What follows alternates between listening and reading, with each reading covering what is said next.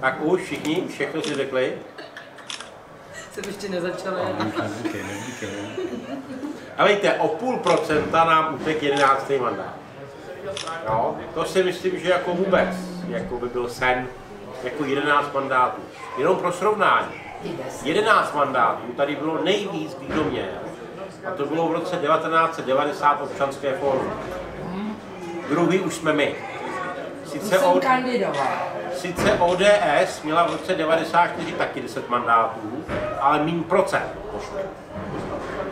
Takže jsme opravdu potom v roce 90 za teda 22 let, za 32 let, jako první, respektive druhý za tu dobu, jak píše pan Zahrádka, v novodobé historii Chrudimi, tak máme druhý nejlepší lístek. Takže jsem vám chtěl všem poděkovat a máme za sebou, jak já vždycky říkám, pouze první kolo a druhý kolo bude povolební vyjednávání. No ale samozřejmě s desítkou se do 14 vyjednává líp než třeba se šestkou.